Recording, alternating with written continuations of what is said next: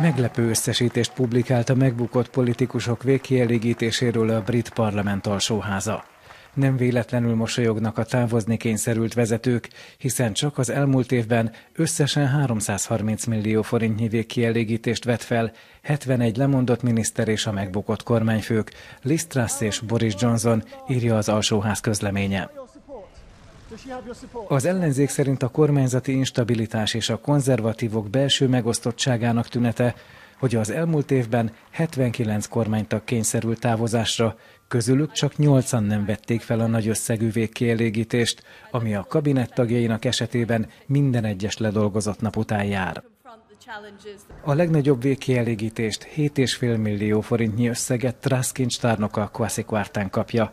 Trask 6 hét után 180 ezer forintnyi bónusszal távozhat. 2010-ben a munkáspárti vezetők végkielégítései az utóbbi évben fizetett összegnél is magasabbak voltak együttesen.